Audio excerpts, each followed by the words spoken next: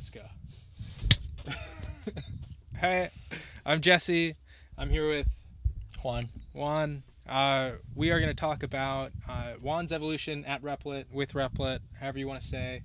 Uh, Juan is one of our top bounty hunters, and it's just someone we wanted to highlight who's been an excellent example of some of our favorite creators on Replit. Because uh, Replit is someone, is a place where we we want people to build great software. It's a place where we prize simplicity, but we also prize, um, you know, power.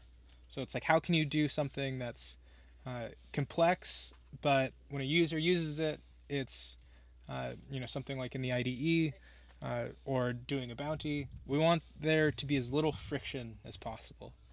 Uh, so I guess to get a little bit more of your background, we could start out with um, where you came from in terms of uh, how you learned how to code in the first place.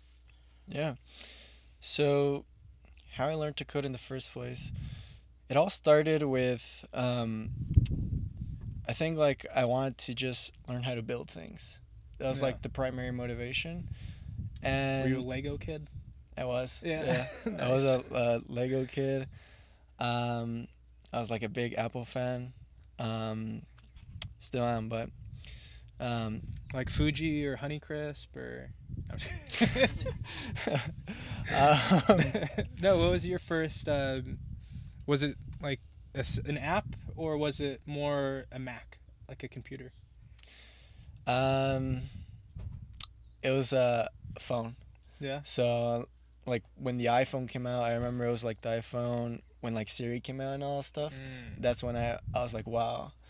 Um, and my first phone, I probably it was probably like in middle school, Yeah. and I was instantly like hooked with like Apple and technology and stuff like that. That was like the primary inspiration. I didn't learn how to code un- up until like like tail end of high school yeah. where I really, you know, when I started to think like uh, what I wanted to do, like as a career, Hmm. um, um, I just really Because enjoy. that's a huge choice for, a, essentially, like a, a, a pretty young person to make, right? sure. Like, there's so much. Did you have um, much pressure on you to make a, a choice th- at that age, or was it more within where you're like, I need to figure out what I want to do with my life? Uh, wh- which was it? no, I don't. I don't think it was like a lot of pressure, but um, you know, it was like how could I explain it? I guess You took it seriously? yeah, I took it seriously. Like college wasn't too interesting, honestly. Yeah. um, like the traditional path wa- wa- wasn't too interested. Um, high school wasn't too interesting as well. It wa- I, I've always just loved like, like, doing something, like Yeah. doing something myself. You know, Yeah. it's something that I think that was like the spark, and just like combining that with technology, it was just like the perfect match, and that's when I got hooked. Um, so that's that was like the initial inspiration to learn how to code. Um, I remember like first first lines of code were like on free code camp nice. free code camp JavaScript? uh, html css javascript Nice. and um, yeah those were like the first lines of code Cool. And then if you guys hear that in the background, we we are in uh, your your uh, it's not your hometown, it's your uh, where you're living now in uh, near Phoenix, and we are in the wild.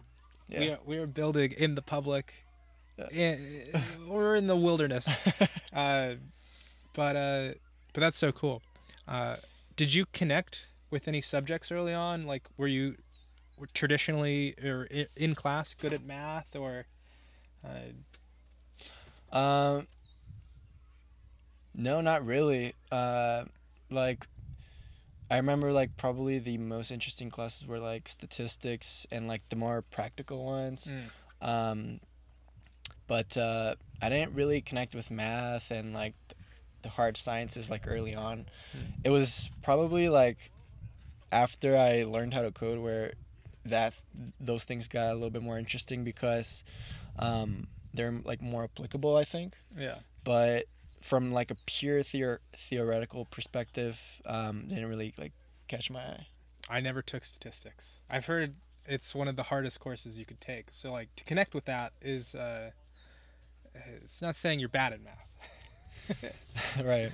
Because to have that curiosity is like uh, I think it's pretty hard or rare, uh, especially uh, as someone who didn't go to university. That seems uh, that seems like you might be a bit of an outlier there to like not see the value in higher education, but to connect with something as I don't know, kind of esoteric as statistics. Right. Uh, and it does. Um, I guess we could skip ahead a little bit because statistics has a lot is is a pretty nice segue into your current work, which is uh, you're you're trying to start an AI based company. Right. For what, sure. So uh, if you could give us a little bit of, um, I guess what's the what's the name and then what's uh, what's a, what's the short elevator pitch? For sure. So uh, it's crear.ai. Can you Uh, spell that? so it's C R E A R dot AI. Cool. Uh, it's a, it's, it's, it's Spanish. Oh, nice. So quick, uh, like background on that name. It was my co-founder who initially named it like that, Hmm. and um, we were initially targeting targeting like Latin America. Cool. So that's why the name is in Spanish. But uh, we decided to just like roll with it. Oh. Um, so crear.ai basically um, is uh, your all-in-one content creator assistant. So Mhm. we want to empower every uh, writer in the world. So we're launching with um, you're able to compose text. hmm Um, so you could write blog posts, short stories, essays, um, so on and so forth. You could transform text, so you can rephrase it, summarize it, expand it, and really like mold your text. And finally, respond. So you can respond to messages, WhatsApp, Slack, emails. Um, Nice. and that's what we're initially launching with. Very cool. What have you? Um, do you have any users yet?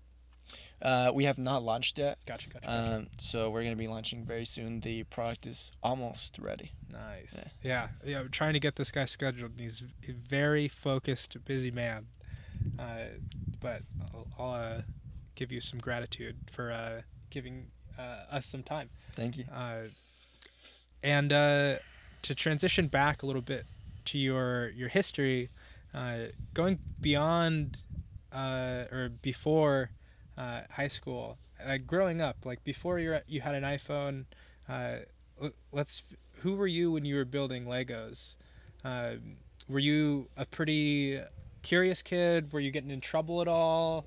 Uh, did you? Uh, uh, did you like? Uh, were your parents uh, a fan of technology, or did they uh, not want you?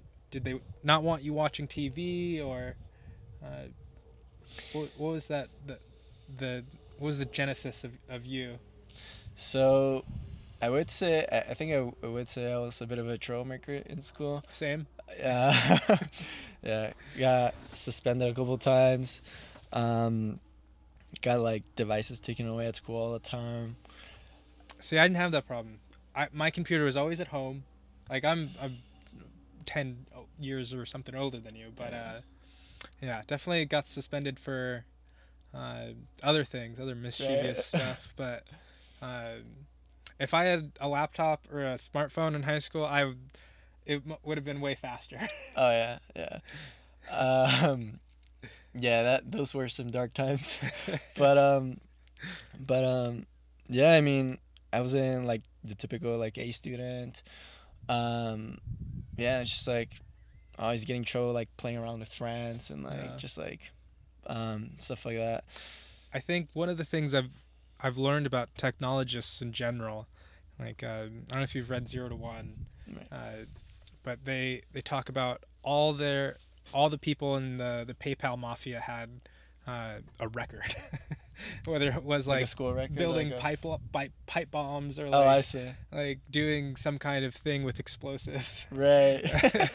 but it's uh it's that hacker I think it's that hacker spirit of wanting to see how malleable the rules are mm. and realizing that the rules uh, are sometimes there to be broken. Uh, you know, especially with literal hackers or like um, uh, white hat or great hat hackers. Uh, their that's their their whole livelihood is built around penetration testing or.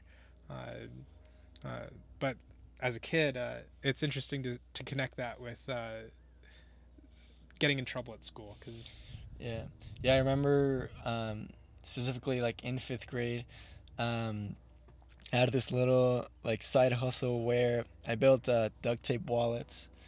They're like wallets made out of duct tape, Yeah. duct tape, and I um, it was like a little business. I sold like for five dollars, Nice. and I I made them in class, that's like cool. behind a desk. It's child labor.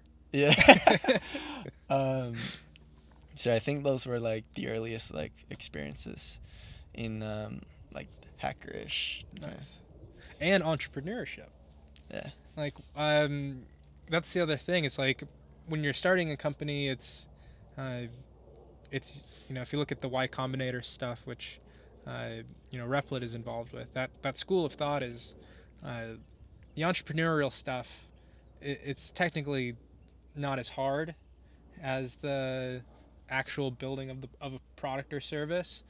Uh, but to have those roots is uh, is really interesting. I was I wasn't a kid building lemonade stands or anything like that, so I don't really have a mind for it. But the uh, the uh, entrepreneurial uh, starting of you is, is that's a it's a cool story.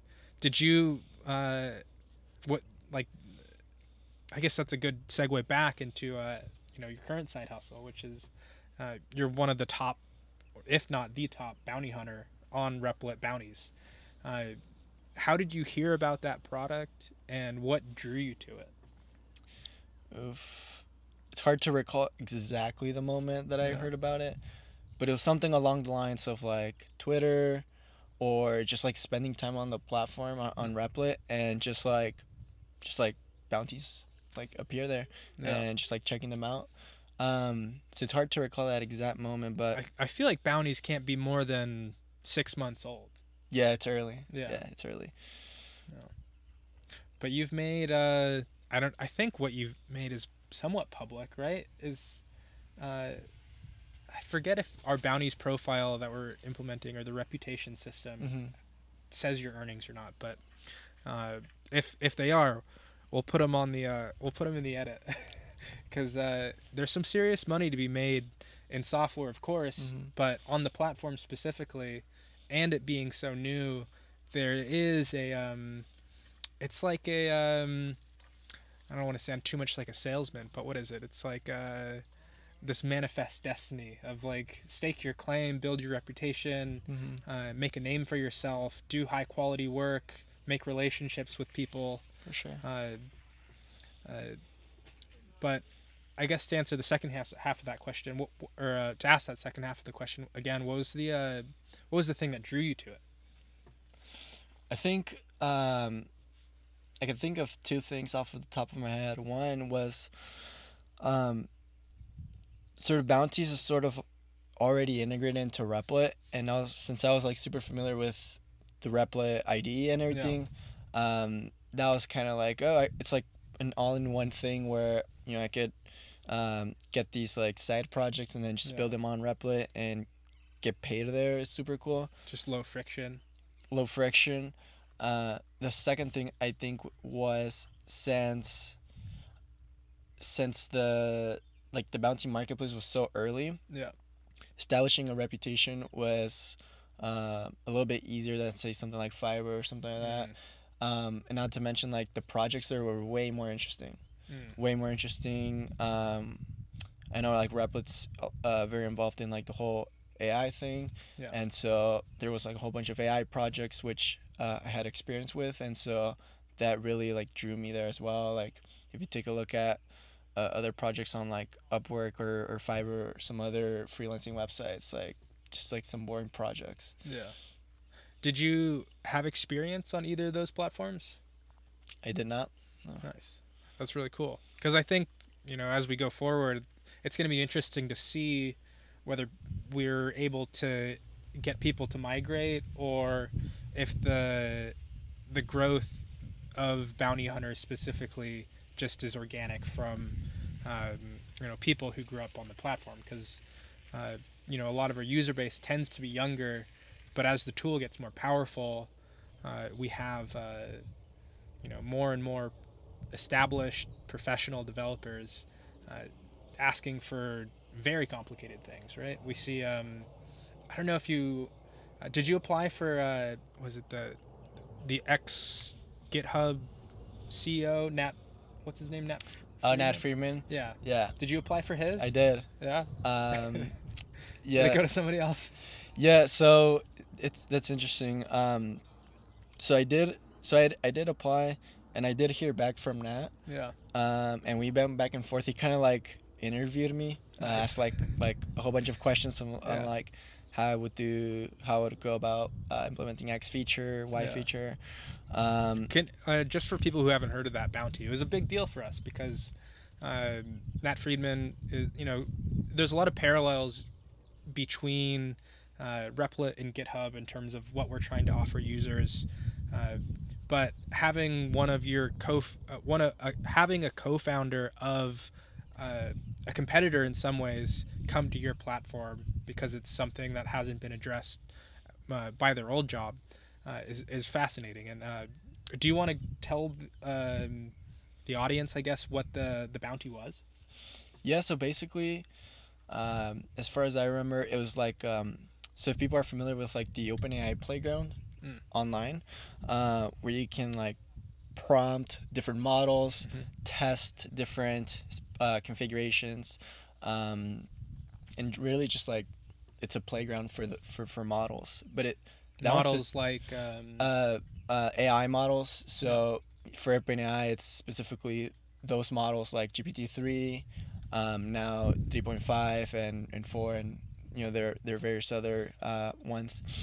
And what Nat wanted to do or uh, is doing is um, that, but for local models. Mm. So taking it off uh, OpenAI and then bringing it to uh, models that you can run locally on your computer. interesting. Um, so you can take models from like Hugging Face or uh, you know just different models that you can run locally and basically take that offline. And It's almost like um, these models have different flavors to them, right? They're trained on different data sets. They they will output different things. Like um, there's um, you know with the ChatGPT, a lot of people mess with uh, you know DAN. Do anything now? The uh, it's a I guess it's, it's what do they call it? Prompt injection, where like you do something, you prompt it with something to make the AI model output something that it wasn't supposed to output. uh, like uh, prompt engineering, Prompt engineering. Well, I guess it's like it's a subset of prompt en- engineering. It's like uh, prompt injections. prompt. En- yeah, that might be it. Uh. So it's uh, it's kind of like instead of trying to subvert the the model, you could just have a whole um, cat a whole list of different models you could try with different inputs and getting different outputs instead of having to do the the, the weird prompt injection.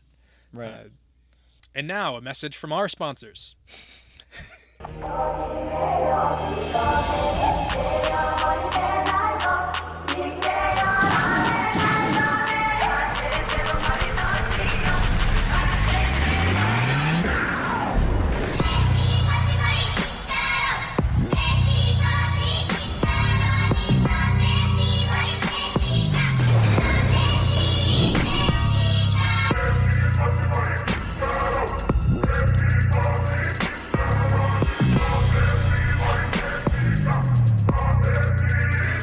And we're back.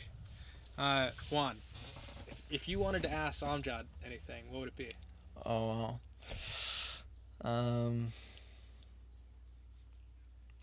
Give me a second to think about that. Because I actually have them right here.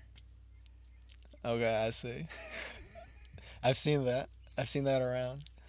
All right, so let, let's let's play with Amjad. Okay. Let's see. I already asked him what's the worst part of life, and he Amjad bot uh, says the worst part of life is the fear of the unknown. We often worry about what we could go, what could go wrong, and what the worst case scenario might be. But it's important to remember that the worst case scenario is rarely as bad as we think it is, and we could usually find a way to cope with ever, with, with whatever comes our way. Okay. That, that might be I don't know. I also I don't know if I asked him the meaning of life, but uh, Ask him what um when he thinks AGI will happen. when will AGI happen? An error occurred, unauthorized. That's classified data. Actually, I think I just need to refresh the page. Because Amjad, uh, that's we actually have uh, Ghostwriter has reached sentience. We just haven't released it. Always has to be on a demo. It's not a live demo though, so we, the the demo gods should not smite us. All right, we're getting somewhere. Aha! I asked him what's the difference between AI and AGI. Mm. You want to hear the answer? It's pretty long. Let's see. Artificial intelligence is a broad term that refuse that refers to machines that can per- perform tasks that normally require human intelligence. Artificial general intelligence is a subset of AI that refers to machines that can think and reasons like humans. AI is focused on specific tasks, while AGI is focused on general intelligence. Uh, AI is typically used for automation and optimization, where, while AGI is used for more complex tasks uh, such as problem solving and decision making. You have any quibbles there? Seems like Amjad. I mean, um, it's it's really cool. I, I I think I see how they built that, and um, it's really cool how you can like imitate a person. Yeah. So, what do you, do you know what, what he said about that?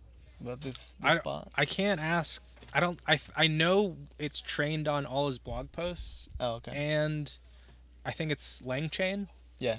It's using LangChain, uh, and I think we have like, um, it was Connor who built it. So we have like this, um, all his blog posts, and then maybe some inster- internal stuff. No, it's transcriptions of podcasts. Oh, I see. So I that's see. how like we get stuff that he hasn't exactly written about. Because Oh, Connor went back and just found podcast transcriptions. Interesting. Yeah. That's pretty cool. But yeah, I, I'd agree with the general argument. Yeah. Uh, you got any more for uh, the boss? Um, when will Replit take over the world?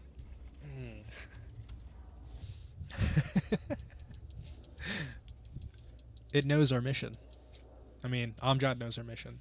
He says, I don't think Replit will ever take over the world, but we are committed to making programming more accessible and empowering uh, to people to create amazing things. We believe that everyone should be should have the opportunity opportunity to learn how to code and use technology to make a positive impact on the world. Also known as reaching a billion software developers or creating both. Same thing. Creators. But you also, I forgot your other question. It was, uh, what was it? Your your question before the last two. Something about AGI. Uh, Oh yeah, when will AGI happen? Right, yeah. Oh.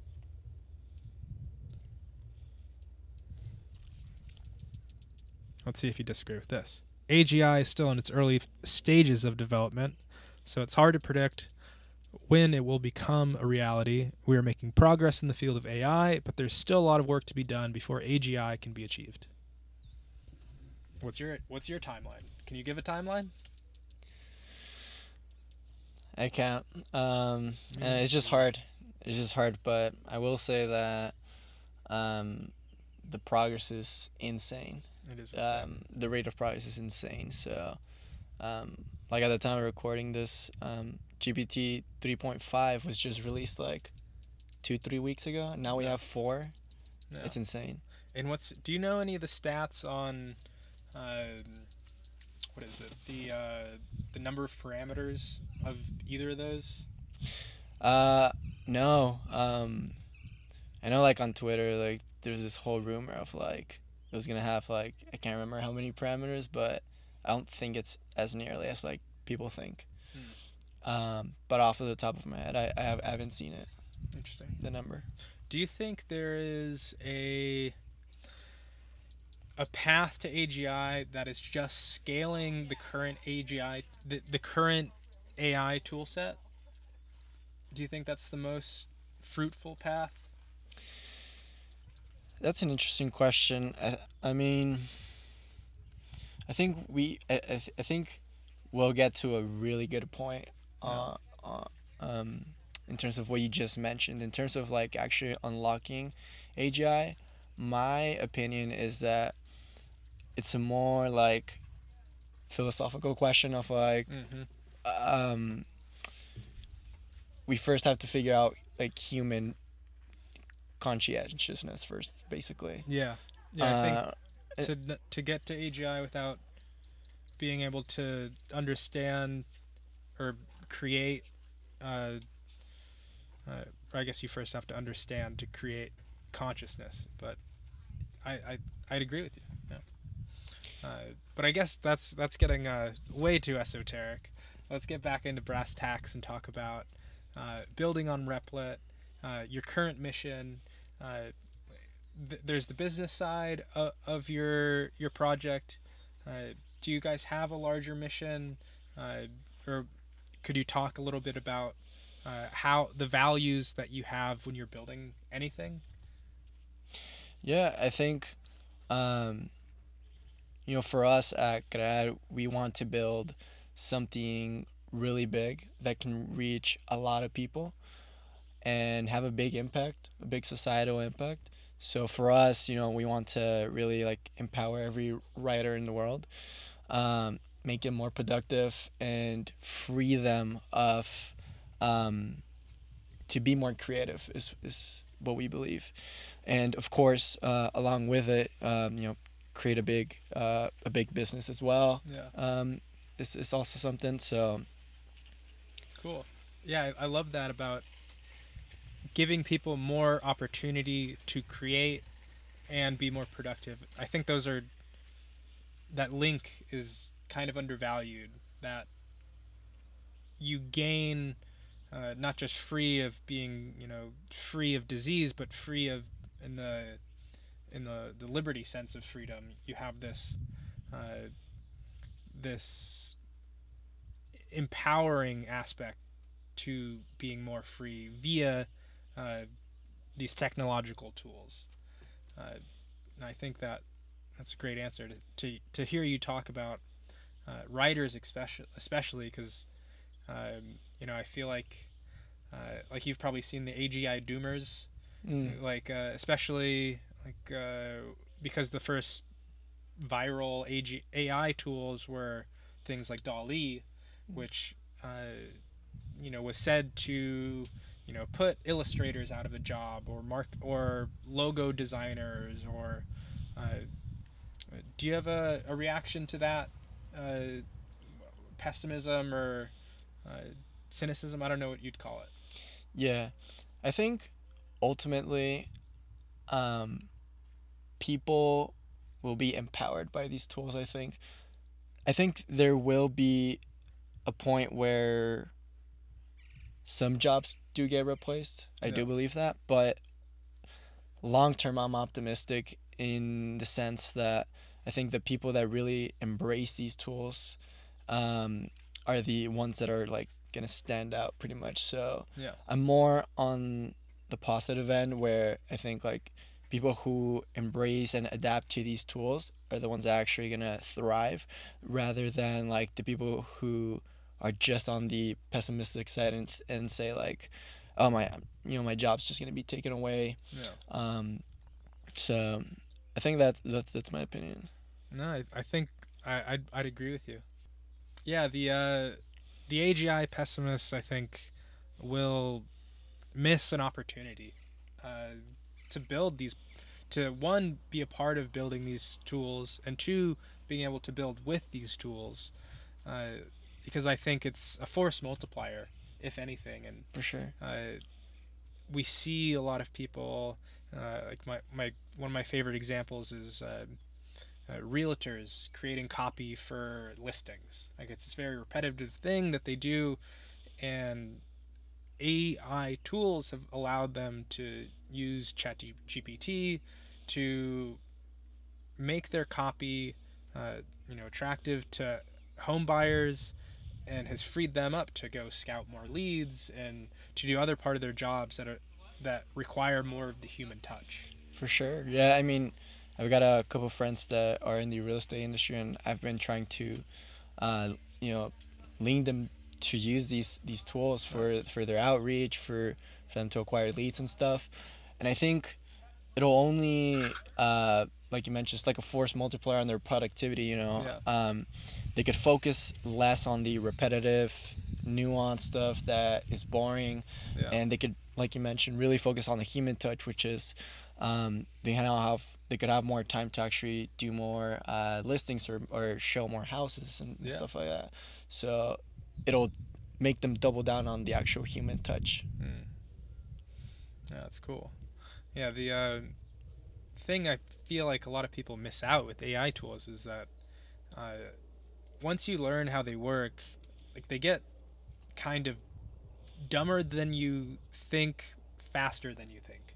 Like the you could reach the edge of some of these AI tools fairly quickly because uh, uh, I don't know if you want to give a little 101 to how these AI tools work or how the it's these like what's the difference between machine learning in general and a a large language model?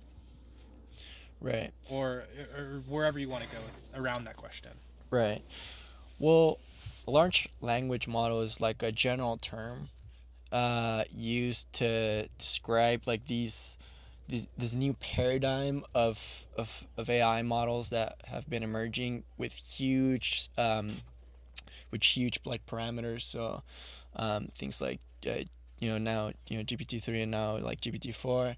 So um, you know with large large language models was really like like a breakthrough in the industry um, I think.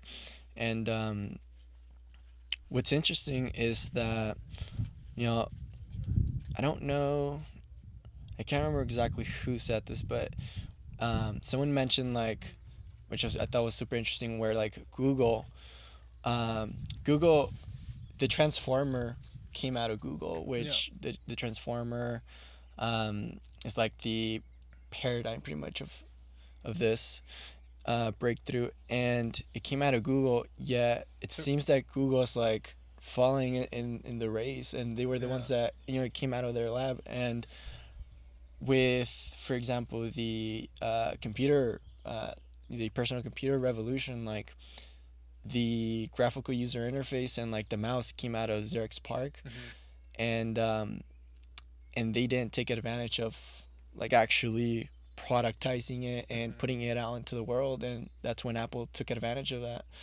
um, so I, I think that's super interesting But it's not like IBM really uh, w- f- fell too hard. they, they're still doing okay. yeah But- yeah But, it does it does speak to something about research in general and technology about uh, sometimes the people who create the knowledge aren't the best to apply it. Like you have um, like with uh, this transformer technology, uh, it might have been created by Google, uh, you know, funded by uh, you know an ad business essentially. Uh, they're not really selling AI tools directly, but a lot of the you know whether it's Google Maps or Photos or the stuff they're doing with smartphones, uh, their product set and their feature set is so wide that they could afford to essentially lose that technology to OpenAI or uh, you know there's there's a lot of uh, you know moving gears in those bigger companies where you know that's that's why startups have this this speed advantage right? If they don't have the bureaucracy. They don't have to worry about uh, uh, 20 different teams and 10 different offices uh, trying to coordinate. Where a startup you could you could really have the autonomy and the leverage to move things really quickly. Going through fat like this is your first startup i'm assuming. Yeah. uh, and you, I, I we mentioned earlier that you've read zero to one. Uh, so let's talk about other companies. What um, what is it that you like about a company like OpenAI or or Google or who else do you look to in the industry that that's like more like you mentioned Apple earlier. Um, but could you expand on any of the these companies or founders specifically that that you really enjoy their work? Um, well, I really like Replit. Um, Good answer. I, re- I really like Replit. Um, I really like uh, Amjad. nice. I, I, I hear a lot about his stuff, and I really like the you know the way he thinks about the world and like where he's trying to take Replit. So, um, I think I also like uh, synthesis a lot. Mm. Uh, synthesis is super interesting. Um, I think like the education space and where it's heading is super interesting as well. Mhm. Um, so uh, his founder, there, the the founder there is also like interesting to to hear. Um, ultimately, like I think it's founders are really like trying to push the boundaries of, um, of like new technologies and like actually trying to bring them to the world. Yeah, and it's something that, especially with synthesis, synth, uh, like the ed tech uh, work that synthesis does, and that we do with 100 Days of Code and our other content, and uh, just being a tool that's that's super easy to spin up uh, uh, a, a developer environment. Uh, it seems like you know it connects to your background, and that's that's interesting. Yeah, you were mentioning uh, that Nat bounty, which was you know if anyone was to deserve it, you were to deserve it because you, your experience and your uh, your interest in AI, and uh, how many how much experience you've had with bounties already. Uh, but yeah, there was a ton of applicants, and that AI playground, um, yeah, it was like a three grand or something, or uh, it was the biggest bounty at at the time, very close to uh, when we launched, and uh, or close after when we launched. But yeah, being able to work, we were talking about founders earlier, uh, and having that experience of being able to work with, you know, essentially someone with a lot of experience, you know, ran one of the biggest developer focused companies uh, in the world, GitHub. Uh, yeah, that, that would be a great opportunity. yeah, for sure. And um, something uh, to mention there as well, like you know, uh, it's not. It wasn't just uh, him. Like for example, um, my current uh, co-founder, uh, we actually met through uh, a bounty. oh no, that's cool. Yeah, and um, Have you heard our uh, our internal? Sa- it might be just internal saying, uh, but on our Slack channel, I think I could make this public. If not, I'll have to cut it. Uh, but I'll show you. Uh, P bounties. Oh, they changed it. But our our channel topic used to be uh, Tinder for startup founders. interesting. That's pretty cool. But I think the other one is better. Of uh, Yeah, Tinder like for it. startup founders like because more. it, it worked. Yeah, yeah, yeah. you essentially are married now. Exactly. Like um, if uh, if I recall correctly, it's uh, from Y Combinator. They talk about how you should be more careful about choosing your co-founder than you are your wife. My dad tells me that all the time. yeah. uh, it's harder to find a, like a good partner um, than a good wife these days. yeah. So Yeah, business partners are because a lot in a lot of relationships, uh, you know, uh, romantic relationships, y- your money doesn't come up all the time, and with a business partner, you are constantly talking about money and c- constantly talking about value, and uh, yeah, it's it could become a can of you could open that can of worms every day. Uh, Mm. How is your how long have you been working on this project now? it's been about three months. Nice. Three months, right? What do you think is uh what do you think what do you let's start with the positive. What do you what do you love about uh, starting a project like this? Uh, I mean, there's there's a couple of things like learning is one of them. You know, Yeah. I'm just learning so much, both from um, on the technical side as well as from my co-founder. You know, he's got a great track record, and so Um, he's got a whole bunch of experience that I, I'm just like taking it all in. Nice. Um, another thing I'm enjoying is just you know, um, just building uh, like this phase. I think is like the most uh, exciting one or like the most Nice. interesting one, like the actual zero to one product building stage. Um, so yeah, it's it's been great. That's so cool. Do you think? How do you guys complement each other? So I'm all like on the technical side. He's all on the like non-technical side, and he's got a great background in uh, growth and marketing Nice. and user acquisition and uh, understanding you know the business side and Hmm. um, you know all that stuff. And so we complement each other super well. That's cool. and then I don't know if you noticed, uh, Replit Hawaii shirt. Yeah, Is that uh, do you guys sell that at No. your store? No. this is Hack Week swag. oh sh- Yeah. Uh, like uh, all all this art is done by uh, Joe. He, he he does like all the illustrations across the site. mm. Uh, he's our resident artist, and uh, yeah. So I was actually gonna give this to you. So this is a a Replit Creates shirt. So this is a recursive. We were talking about functional programming earlier. Oh yeah. So this is a literal robotic recursion. Oh nice. So it's a hand drawing itself. So That's super cool. Replit creates. I think this one was on the store, but it might not be anymore. So it's um, somewhat limited. But Nice. I'll, I'll let you take this one home with you. Oh, awesome! I really appreciate it. Sweet. That's awesome. Thank Wear you. it well. Do us proud. Thank you. You're welcome. And uh, let's get some final questions here. Uh, let me look at my notes real quick and see if I missed anything. Ah, this is actually really fun. Um, you want to do meme review? Meme review? Yeah. Like, AI meme review? okay. Let's do it. All right, I'm gonna go to. Like, are you are you a redditor? Not really. Like, here and there. All right, here's an AI one.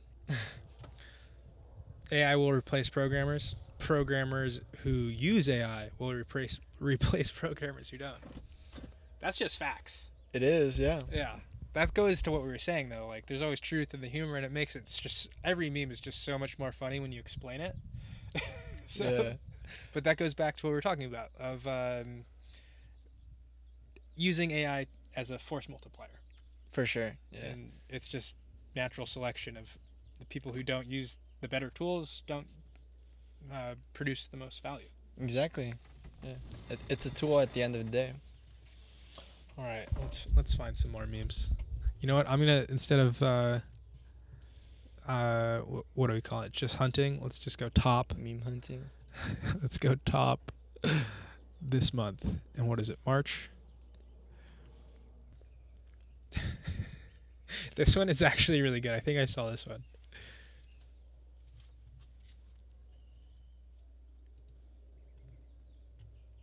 Please don't apply for a senior dev position if your GitHub looks like this. Please don't give ex- advice on what someone's GitHub should look like if your GitHub looks like this. That was funny. Uh, there is a better version of this one. It was a Twitter meme. It was like, uh, you know who this guy is?